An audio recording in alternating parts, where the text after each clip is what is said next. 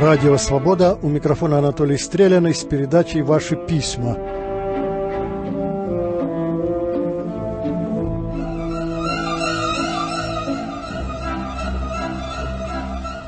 Письмо из Ростовской области. Многие говорят, что умер первый президент России. Ну, Россия не Россия, а первый все-таки Горбачев. Говорят, Ельцин разрушил союз нерушимый. Развалился бы союз и сам. Да, запретил КПСС, но здесь лучше всего подходит выражение «как бы запретил». Партия сменила только название. Да, убрал жестяного истукана с Лубянской площади, и только. Скоро Путин его вернет. Стрелял в Верховный Совет. Ему в детстве никто не объяснил, что нельзя стрелять в людей и в парламент, даже в самый плохой. Да, несколько смягчил противостояние Западу, временно. Он не устранил самое жуткое явление, самую ужасную беду в стране – чекизм. ЧК – это не только самая большая преступная организация. Это способ жизни, это ненависть, направленная во все стороны. Он не уничтожил позорнейший институт прописки, изменил лишь название, пишет автор этого письма о Ельцине. Небывалой властью над человеком наделила регистрация ментов и чекистов поджег Россию с юга, и, похоже, никто не собирается тушить пожар, а даже наоборот. Наука оказалась не нужна как бы развивающемуся государству. При нем были введены драконовские налоги и поборы. Не отменил Борис Николаевич и спецмигалки на спецтранспорте, перевозящем спецзадницы. При нем мигалки заполнили все города и дороги. Добил веру в возможность построения либерального общества в России. Наконец, назначил президентом чекиста. Не мог демократ и либерал назначить чекиста. Не мог трезвомыслящий человек назначить чекиста. Не мог. Тот Новый год выходит нам большими бедами, и самое худшее еще впереди. И предадут проклятию царя Бориса все, оставшиеся в живых, за преемника его. А вот и отпевание с погребением показали. Чистый 907 год показное благочестие с мракобесием, не поворачивается язык назвать Россию светским государством. Даже не верится, что один человек может наделять другого такой нечеловеческой силой. О Ельцине в этом письме говорится так, будто он Господь Бог, не пожелавший превратить Россию в рай земной, хотя мог бы сделать это играючи. Правда, было время, когда и сам Борис Николаевич думал о себе так же. А разве иначе думает о себе почти каждый из тех наших слушателей, который не знает удержу и меры в критике власти, подспудно уверенной, что уж он-то из Кремля устроил бы все в лучшем виде, и с чекизмом, коммунизмом покончил бы за год-два, и с обреками, рвавшимися к Каспийскому морю, в два счета договорился бы, и стали бы они добродушными чабанами, и бродили бы по горам с гирлыгами, а не с автоматами. О Ельцине пишет и господин Линник из Петрозаводска. Смерть Бориса Николаевича Ельцина ударила по сердцу острой болью. Благоговею перед ним за воплощенный в нем дух свободы. Это главное. Но власть развращает. Борис Николаевич искренне стремился к тому, чтобы стать исключением из этого фатального правила, но под конец все-таки сдал. Это вызывало досаду. От неколебимого демократизма до альянса с мафиозными олигархами, от безумной отваги до страха перед лицом чекизма за себя и семью. Однако жалкое отступило сейчас на задний план. Первенствует великое. Этот человек знал муки совести. Ельцин был сомасштабен России, грандиозная фигура, и вот она сменяется чем-то неадекватным, вырожденным. Перефразируя известный афоризм, можно сказать так «природа отдыхает на преемниках великих людей». Что уродливее нынешней системы? Она враждебна народу, враждебна самой жизни, мстительность, злопамятство, чего был лишен Ельцин, все это знаки ущербности, Нет ничего страшнее для любой страны, если власть в ней принадлежит ущербным людям. Только теперь я понимаю, что очень любил нашего первого президента, пишет господин Линник. Письмо из Москвы, пишет господин Князев. Приходится слышать, что крупный российский капитал плохо заботится о народе. Вот они, наши нынешние рабы, олигархи. Не беспокойся, обыватель, не пропадешь. Работать на тебя, кормить тебя будут они. Вот те зуб, отнимем и разделим. Экономист от спецслужб Глазьев давно указал охотникам до манны небесной источник всеобщего дармового благоденствия, природная рента. И как сработало? В парламенте страны, вставшей на капиталистический путь развития, нет партии с капиталистическими взглядами. Так ловко спецслужбы играют на совковой психологии наших замороченных и ко всему и вся враждебно настроенных масс. Сейчас даже коммунисты вякнуть боятся, продолжает господин Князев.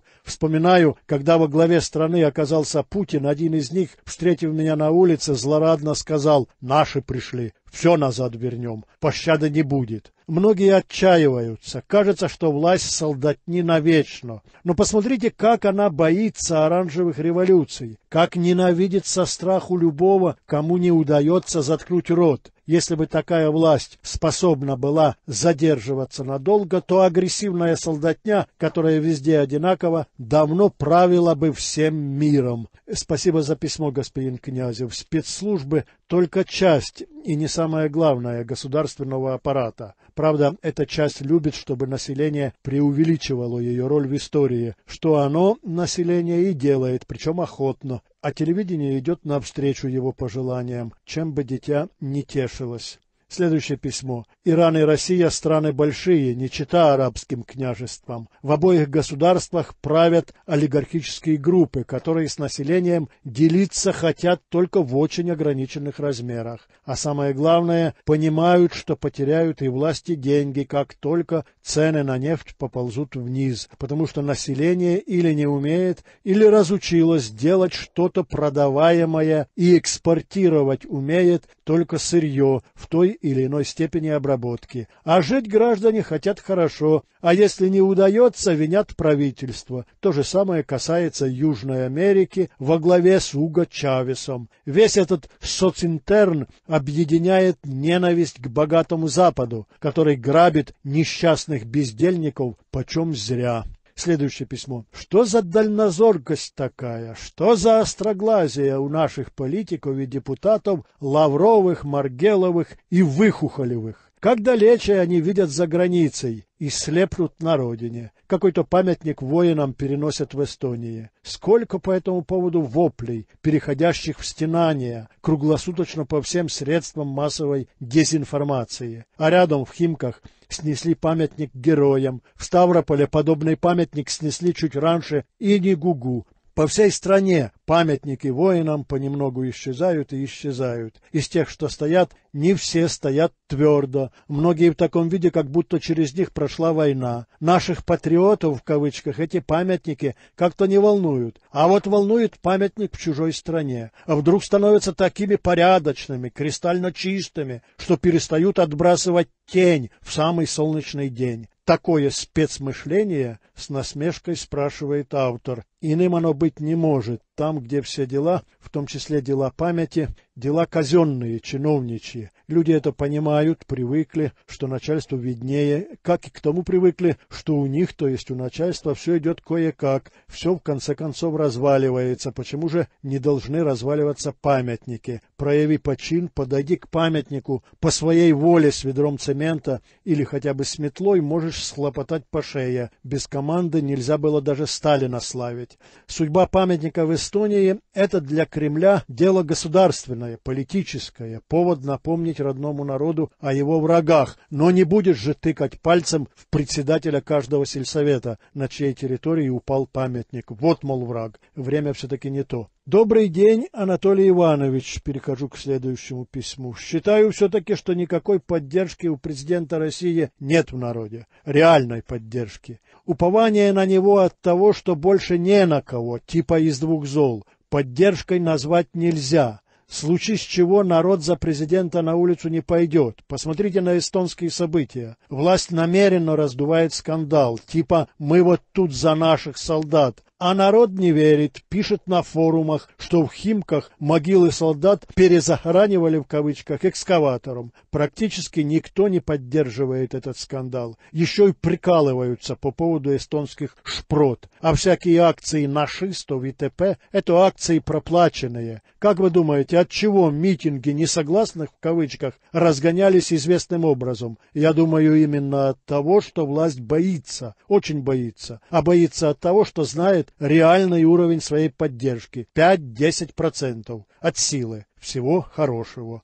Судя по почте «Радио Свобода», внутри России путинизм проиграл свою войну с Эстонией. Людей покоробила наигранность казенного возмущения. В Кремле упустили из виду, что памятники Алешам имеются не только в Эстонии или в Западной Украине, а по всей России. Один житель Крыма, назову только его имя отчество, Владимир Антонович, литератор, прислал на радио «Свобода» свое открытое письмо Путину, направленное ему еще в 2001 году. Очень большое письмо, 30 с лишним страниц. В первой части автор обращает внимание президента России на упадок культуры в стране. Начинает с музыки. Неужели та музыка, песенки с визгом, с хрипом, с ритмами чуждыми русскому народу, с ритмами племен Африки или негров-рабов с американских плантаций, с буханьем и треском барабанов, это и есть музыка, спрашивает он. Затем о языке. Что делают с русским языком, о котором великий писатель сказал «великий и могучий»? Что делают с русским разговорным, песенным, печатным, эфирным языком? В некоторых книгах блатной язык со словечками вроде халява, тусовка, клево трахнуться, на стреме и т.п. стали не только языком, так сказать, характеризующим того или иного персонажа книги, а и языком авторским. Покупайте противозачаточные средства, покупайте лучшие в мире презервативы. Как раз в этих призывах с русским языком, по-моему, все в порядке. Да и призывы в высшей степени уместные, если, конечно, и то, и другое действительно лучшие в мире. В письме содержатся советы президенту, что он должен делать, чтобы все в России было самым лучшим. И музыка, и литература, и кино, и телевидение с печатью. Все. Прежде всего, выработать и выдать в жизнь государственную доктрину, государственную гуманитарную политику, пишет автор, а для притворения ее в жизнь создать действенный орган, под опеку которого отдать все, что относится к духовной жизни страны, и спорт тоже его слова.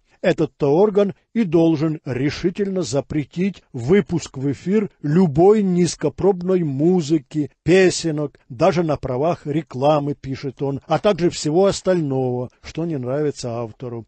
От запретительных мер он переходит к поощрительным, читаю, помочь писателям, поэтам вернуться за свои письменные столы, финансировать работу талантливых писателей, поэтов, музыкантов. Надо, чтобы не только захеревшие журналы, но и газеты находили возможным, интересным печатать стихи, очерки, рассказы. Особенно Владимир Антонович ходатайствует о литературных критиках. Надо реанимировать, бережно возродить, воспитать, поддержать материально людей этой трудной, нелегкой и во все времена опасной профессии критиков литературных, музыкальных, кино, изо, театральных. И вот так еще их поощрять вместе с остальными ценными мастерами культуры. Читаю. Награждая лучших людей Российской Федерации высшим орденом и званием, выделять и землю, под усадьбу с оказанием помощи в обустройстве ее, без права продажи и не на окраинах городов, и постепенно бы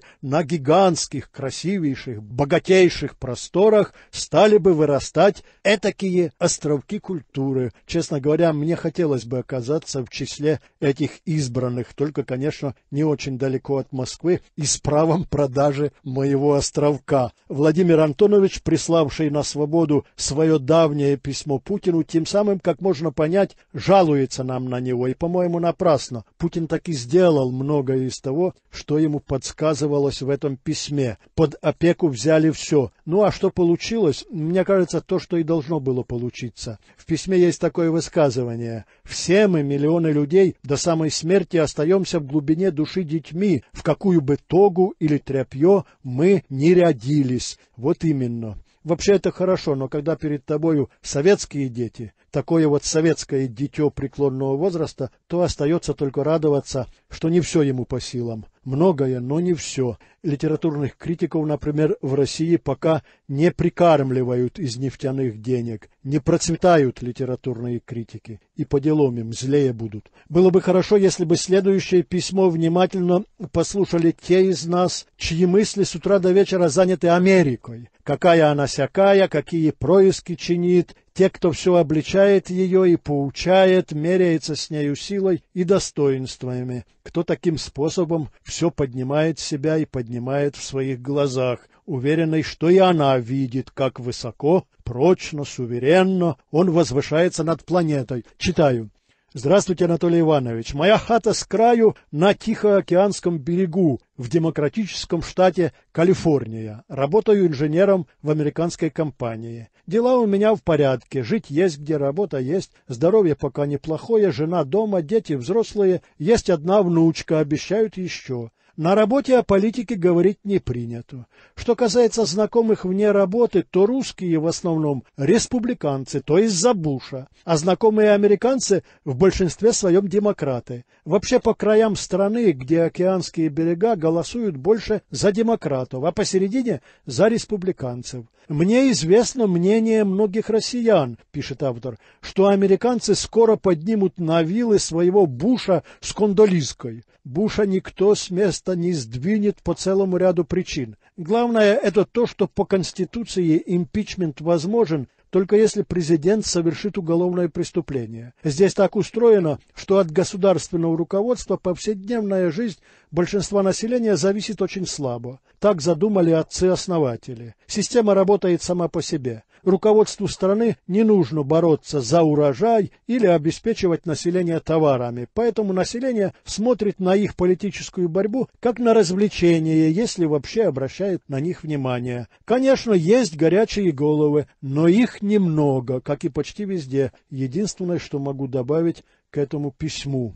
Номенклатурных режимов, говорится в письме из Воронежа, на планете великое множество. Это вся Латинская Америка, Африка, Азия, страны СНГ и Россия, естественно. Среди общих признаков таких режимов автор называет вопиющее неравенство доходов граждан, пассивность населения, грандиозные стройки, чаще всего бессмысленные, его слова, сверхэксплуатацию природных ресурсов, подавление среднего класса и феноменальную стабильность, нереформируемость ни сверху, ни снизу, ни народные восстания, читаю в письме, ни дворцовые перевороты на всем протяжении писанной истории не приводят примеров успешного перехода от номенклатурного режима к демократии. В Латинской Америке количество этих революций в кавычках превысило сотню без всяких последствий. Особое место в ряду бесплодных революций занимает распад СССР и образование стран СНГ. Реальной демократизации не произошло. Однако история располагает и положительными примерами реформирования номенклатурных режимов. Из них наиболее яркими являются послевоенные периоды развития Германии и Японии.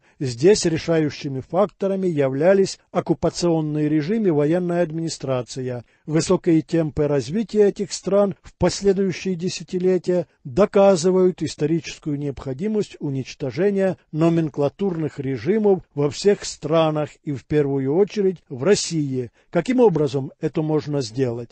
На этот свой вопрос автор письма отвечает так же, как и большинство слушателей «Свободы». Он говорит о том, что, по его мнению, надо делать, но не о том, как борьба с административным произволом, с коррупцией, с милицейским бандитизмом, с бедностью. То же самое из года в год говорит и сам Путин. Все это мало чем отличается от того, что читаю в одном письме, представляющем собой трактат о необходимости перевода российского хозяйства на живую тягу, Церковь обязана, говорится в нем, организовать комитеты по спасению традиционных рабочих животных. Почему именно церковь? Никому более, чем ей, это не нужно, пишет автор, не объясняя, почему в таком случае ее надо обязывать. В другом письме «Народ в большинстве темен, невежествен, глуп. В результате в Думе видим Жириновского, Митрофанова, Харитонова и им подобных. И опять «Народ наш слеп и глуп,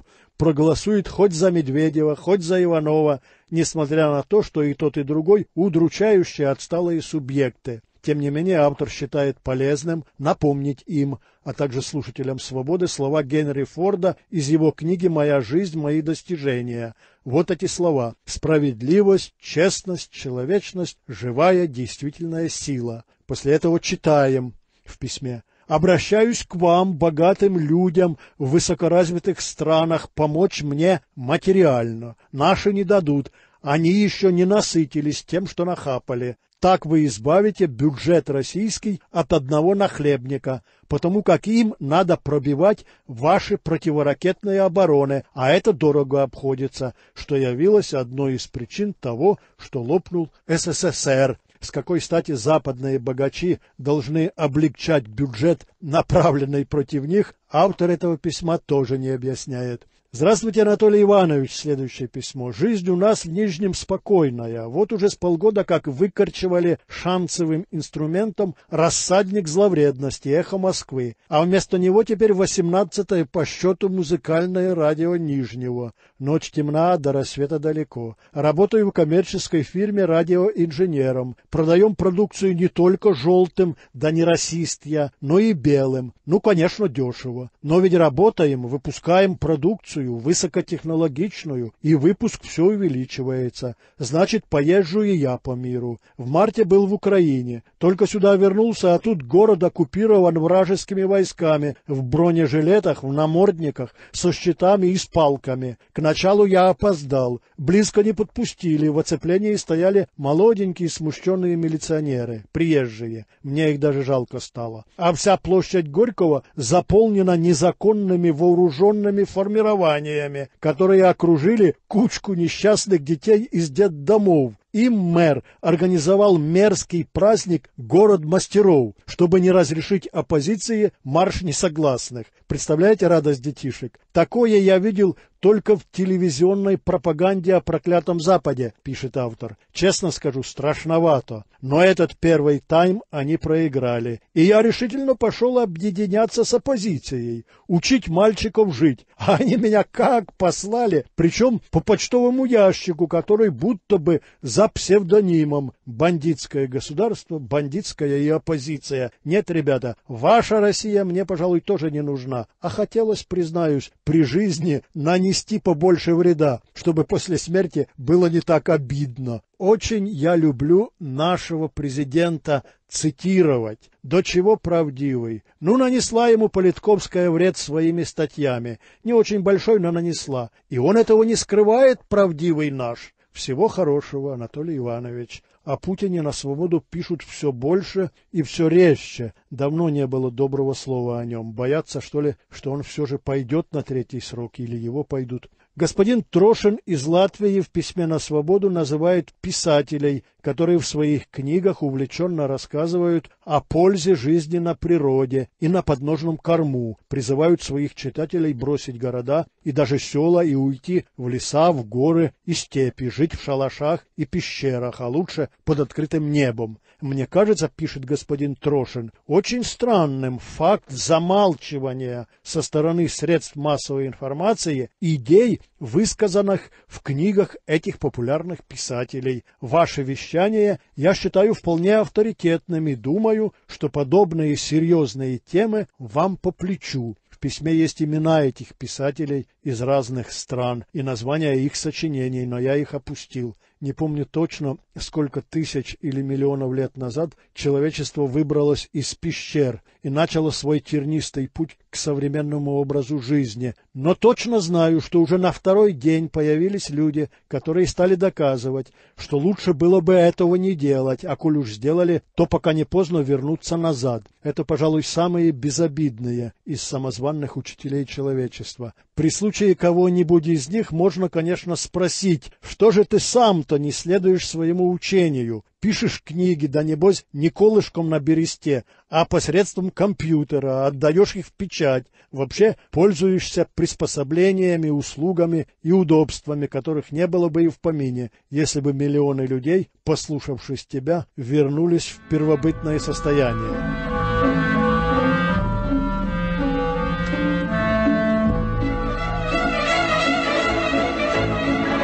На волнах Радио Свобода закончилась передача «Ваши письма». У микрофона был автор Анатолий Стреляный.